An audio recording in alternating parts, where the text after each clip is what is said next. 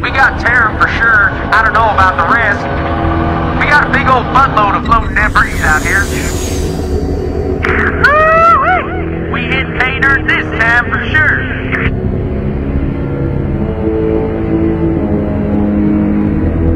Explain to me how we gonna get all this home.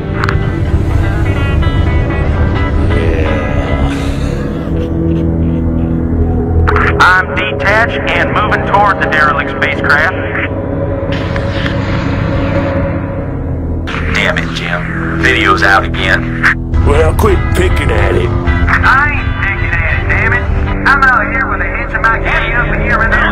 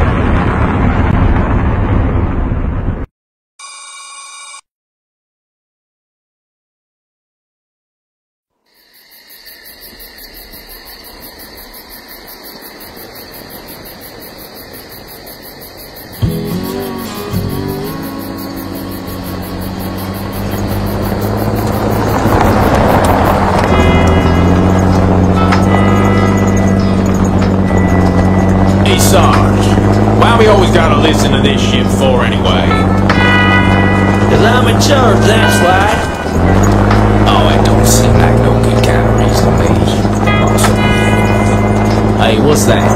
Hold on right a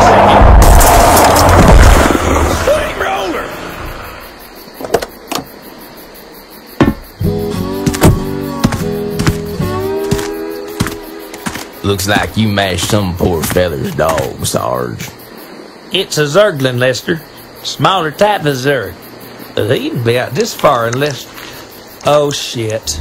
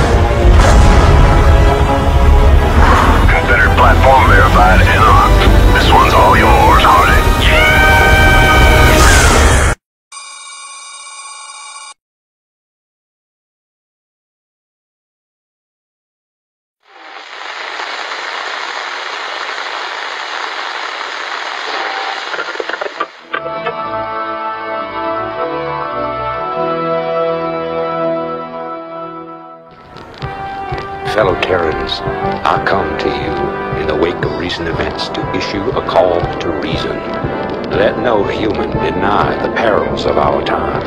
While we battle one another, divided by the petty strife of our common history, the tide of a greater conflict is turning against us, threatening to destroy all that we have accomplished. It is time for us as nations.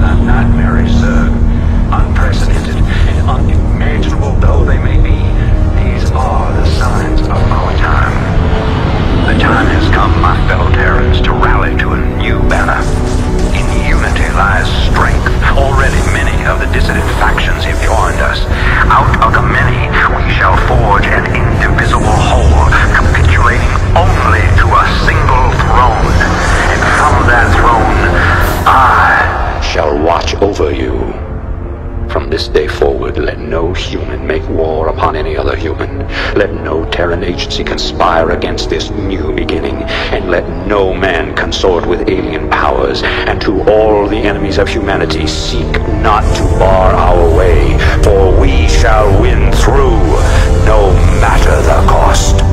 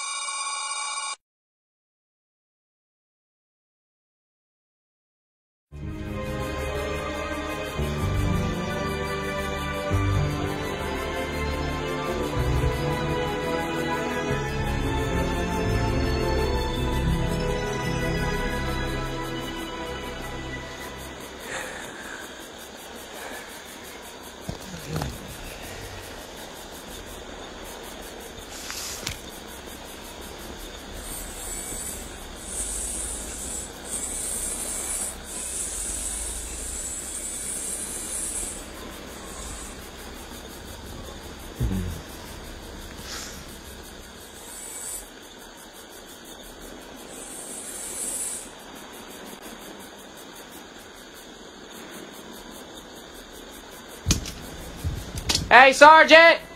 Sarge! Hey! You will immediately tell me why you have called me from my desk, Private. Protoss unit, Sarge! Coming through the South Pass! It looks broke! Kill it!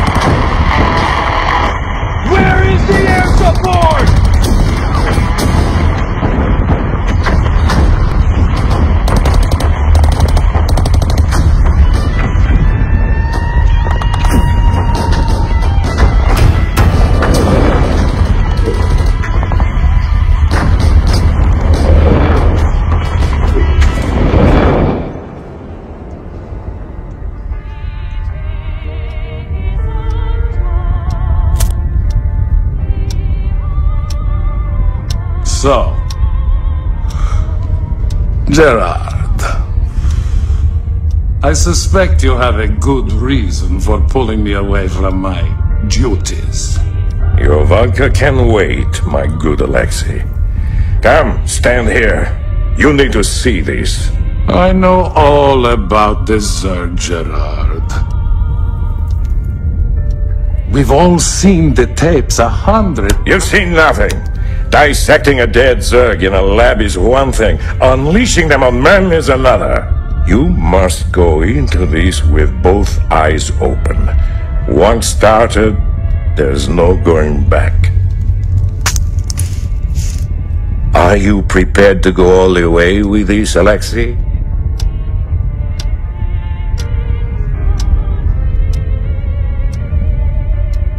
Yes. Yes, I am prepared to go all the way. My good Admiral. Good. Good. I knew I could count on you. Admiral, the colonist base will be overrun in a matter of minutes. Shall we intervene? Take us into orbit, Mr. Malmsteen. We've seen enough.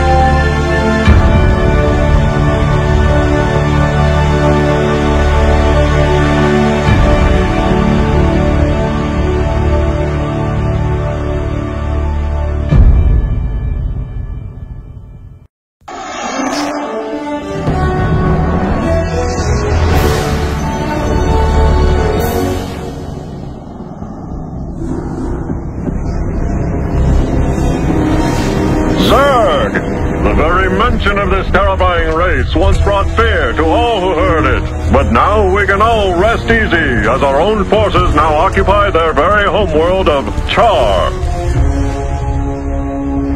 Months have passed since our initial confrontation with the Zerg, and now Directorate forces have taken control of the planet Char, long since rumored to cradle the malevolent overmind of the Zerg. The overmind itself, an enormous living brain-like entity, dictates control of all the myriad Zerg forces, and it was believed to be planning an invasion of the Earth itself. Once on the offensive, our highly trained Directorate forces were more than a match for the beast-like Zerg. Even their fiercest warrior breed could not defeat the greatest military technology in the galaxy. The Zerg forces on Char were completely decimated and their losses were tallied in the millions. But all wars have casualties, and while Directorate losses were minimal, the fleet's Vice Admiral Stukov gave his life during the final valiant assault on Char.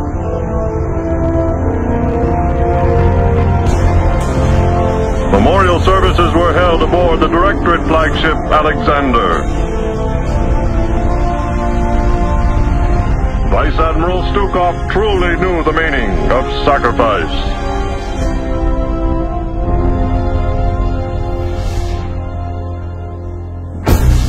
Yet his sacrifice was not in vain. The Overmind itself was the prize of the battle. Even now, Directorate psychics and powerful drugs are keeping the creature pacified. The Overmind will undergo extensive research to ensure the continued safety of the United Earth Directorate and of all mankind.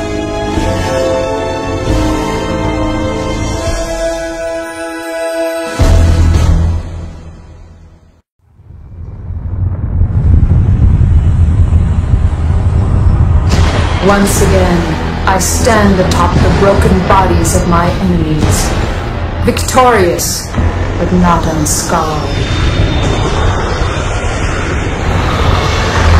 The Earthborn Directorate has been destroyed, and the Overmind lies dead and trampled beneath the ashes of Char. As for my unlikely allies, I think that I shall allow them a reprieve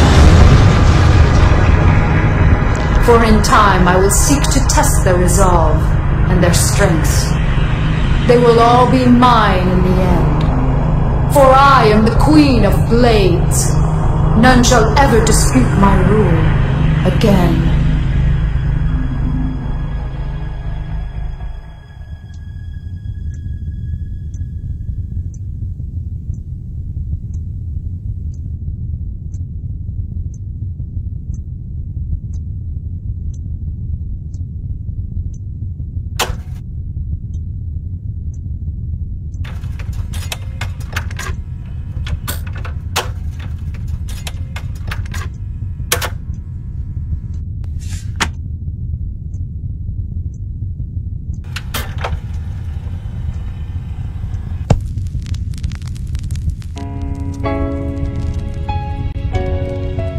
Dearest Helena, by now the news of our defeat has reached the Earth. The creatures we were sent here to tame are untamable, and the colonies we were sent to reclaim have proven to be stronger than we anticipated. Whatever you may hear about what has happened out here, know this.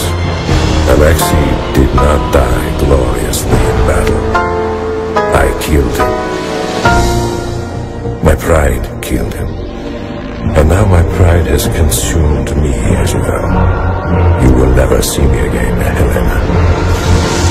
Tell our children that I love them, and that their father died in defense of their future.